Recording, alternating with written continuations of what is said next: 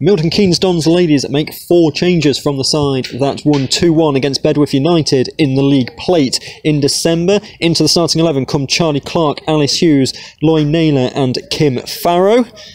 Zoe Boot and Charlie Wright drop to the bench. Their full squad then in goal number one, Sophie Schultz, two, Leanna Doyle, three, Laura Bright, four, Charlie Clark, six, Vicky Holland, seven, Alice Hughes, ten, Ellie Goff, eleven, Leah Cudone, twelve, Loy Naylor, fourteen, Leah Littlechild, and eighteen, Kim Farrow. Five on the bench for the visitors this afternoon, number thirteen, Emma Kirby, nine, Amy Goodaham, eight, Charlie Wright, fifteen, Amber Tullett, and Zoe Boot. Nottingham Forest ladies make three changes from the side that lost to Huddersfield Town 4-1 in the League Cup back in December. Kelly Darby, Sammy Conroy and Ashley Edwards all enter the side. They start then with 18 Rebecca Thomas in goal, 2 Lindsay Harkin, 3 Grace Walters, 14 Georgia Hewitt, 5 Kelly Darby, 12 Sammy Conroy, 16 Charlotte Griffin, 8 Helena Constantinou, 28 Trina Greaves, 27 Ashley Edwards and 9 Katie Middleton.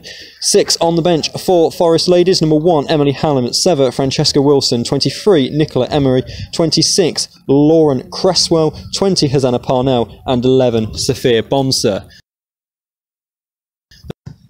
Thomas takes the goal kick right footed, it's flicked on by Griffin and eventually falls to Georgia Hewitt on this left hand side up towards halfway, skips past Doyle and then can't get past the second defender and Doyle has it once more, ball forward. Conroy gets there and plays it back, and this is an opportunity for MK Dons right at the end of the half. And they take the lead. A minute and a half into stoppage time. And Walters just played it past Thomas. And it was just the open net. And right at the end of the first half, MK Dons find themselves leading by a goal to nil. Headed by Harkin, again by Greaves. Wright gets the foot to it, but it's fallen to Edwards. Edwards into the centre circle, tries to do too much, but she's won it back past Hughes. Forward to Parnell. Parnell to Emery. Parnell on the overlap, manages to get there towards the edge of the penalty area. Parnell gets the cross in towards Middleton, claimed by Schultz. And that's three minutes of added time played.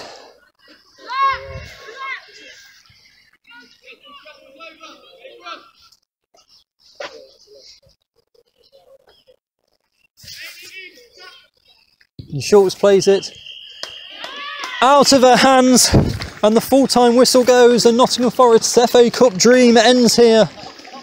It was a goal in the second minute of added time at the end of the first half from Kim Farrow that was the difference between these two sides. And at the end of this one, it's MK Dons ladies who progress to potentially face the Giants in the fourth round. Full time here in Nottingham, it's Nottingham Forest nil, MK Dons 1.